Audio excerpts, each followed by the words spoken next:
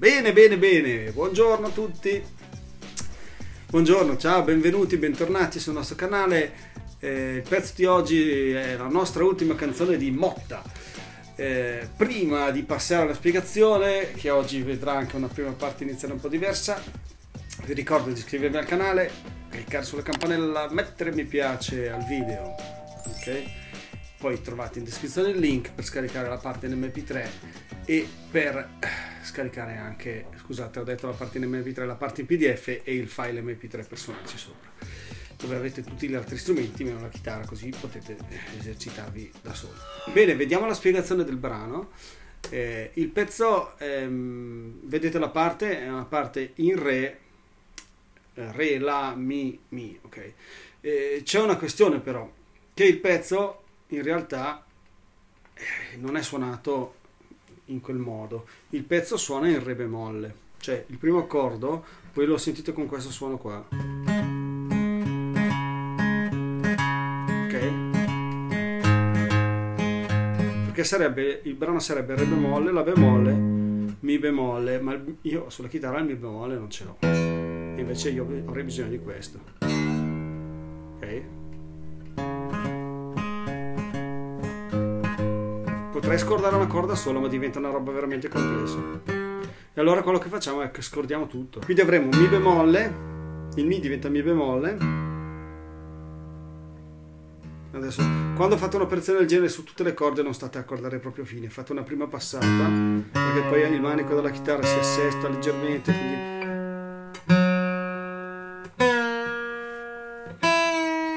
Ok, si fa proprio questo, si accorda e poi si riparte ripeto, generalmente io tendo a non stare a, a cercare la perfezione su ogni corda, ma faccio due o tre passate, mi, mi ci avvicino.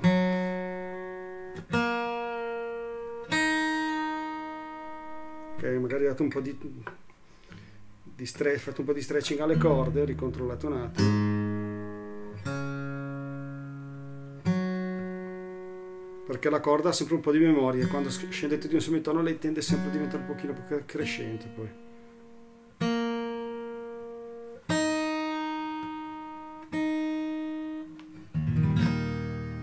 Per me l'accordo che dice che la chitarra è accordata è il Mi maggiore. Se il Mi maggiore suona bene, ci siamo.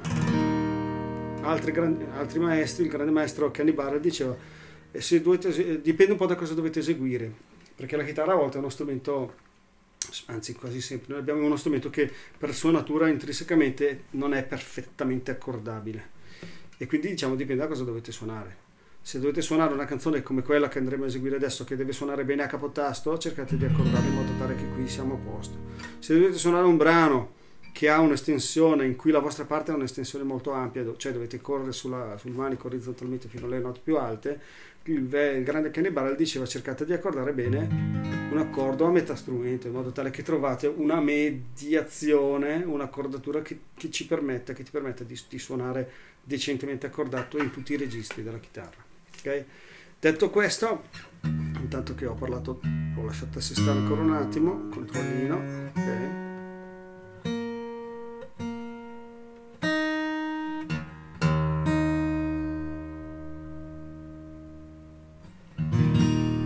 Siamo quasi. Andiamo a vedere il brano, ok? Ehm, adesso dovreste sentirmi un po' meglio. In, in sostanza noi abbiamo una parte molto semplice, fa questa cosa qua.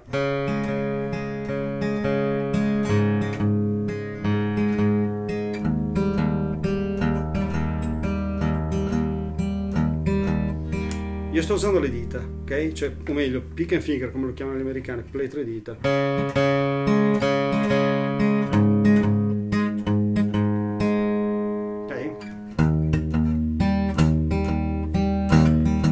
Però potete anche sfruttare il brano per fare un po' di esercizio di tecnica, quindi fare...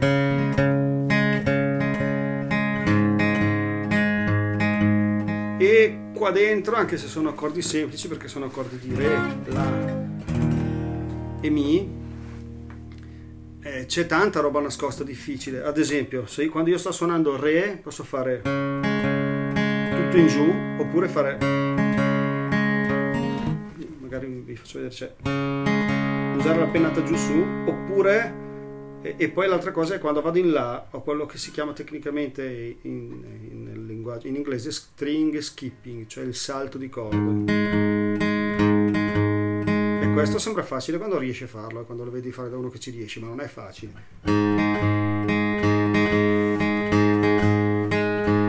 Anche qui potete divertirvi a fare cosa sia con la, solo pennata in giù, pennata alternata? O pletre dita? Oppure mettete il pleto per terra e diventa tutto più facile fate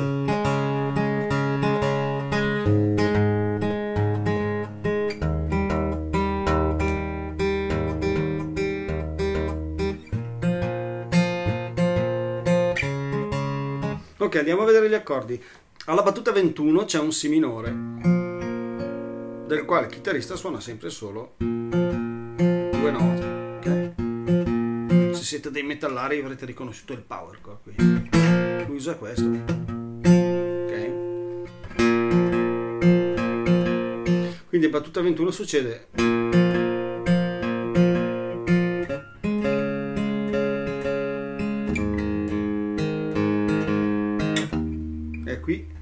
se usate pletro e dita io quando vado su questa ho uno, uno spazio molto ampio qua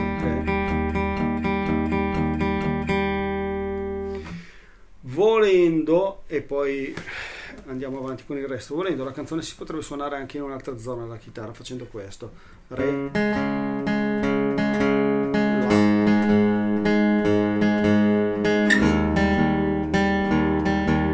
Che ci solo per il contro, è molto più facile, mi sposto molto di meno, ho salti di corde molto più semplici, ma mi devo avventurare a metà manico, ok? Il re è il power chord preso da una forma di La, La, Si, Do, Si, Quando vado in La c'è La vuoto. Il Mi è qui e siccome stavo suonando La, La e poi mi serve il Sol diesis, ecco lo Sol diesis. Quindi la canzone diventa molto facile.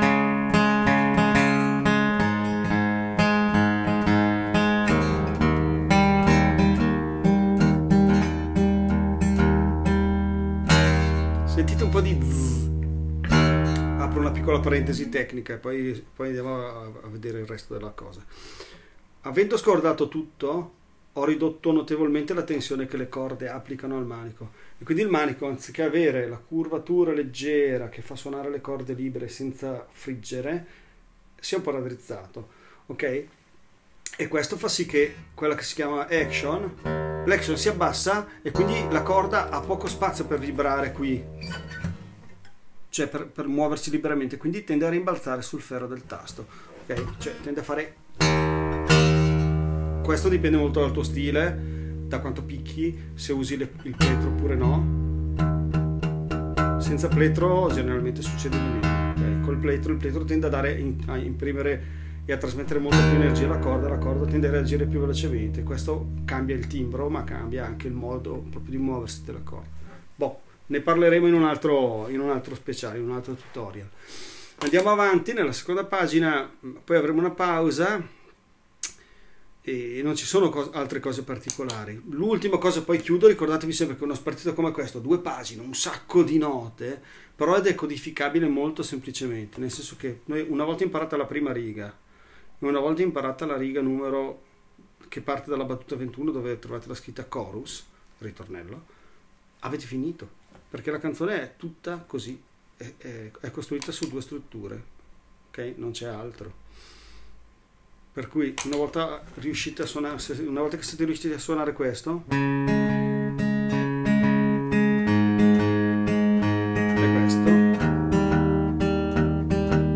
avete finito la prima struttura, la seconda è questa.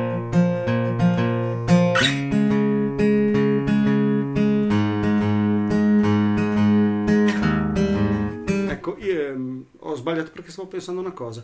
Il contro, l'altro contro dell'andare qua su è questo.